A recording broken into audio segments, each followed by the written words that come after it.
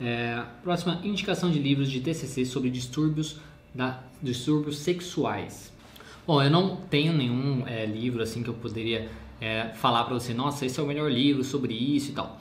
Só que tem uma autora, né, uma professora, eu não sei se ela é professora e tal, que chama Aline Sardinha, que ela é terapeuta cognitiva e ela trabalha muito com essa área da sexualidade. Tem até um livro é, dela, né, que chama Terapia Cognitiva Sexual, né, uma proposta integrativa na psicoterapia da sexualidade. Talvez esse livro possa te ajudar. Não tenho certeza, não tenho acesso, não tive acesso ao livro, mas eu imagino que possa ajudar com algumas coisas sobre a questão da sexualidade e alguns distúrbios sexuais.